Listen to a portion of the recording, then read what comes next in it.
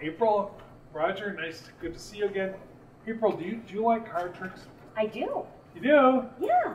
I don't do card tricks. Oh, I, I, I- I don't. You know who does card tricks? who?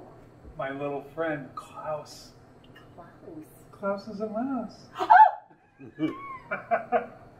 Klaus is actually Get that mouse he's he's actually a mind reading mouse. Did you know that? No. you, well, well, you would. He does. He'll read your mind. He's cute. Yeah, he is cute, isn't he? Tell you what, just reach out, take any card you like. Got it? Look at it. Remember it.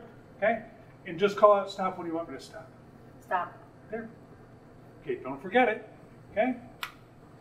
Now, Klaus will actually, he's going to climb right into your mind and read you concentrating on your card? Okay. Klaus will now determine what half of the deck your card is in.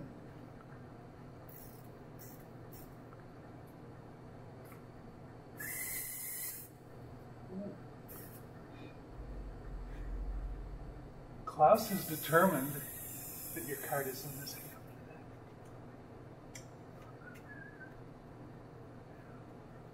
Now let's see.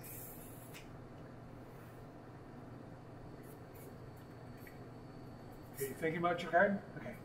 Wind them up.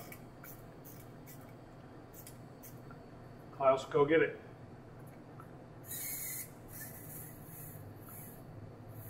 Oh, these are all the retakes. Klaus stopped at one card. And April, what card were you thinking of? King of Hearts. And it looks like that. Oh my gosh. Klaus, you're so smart.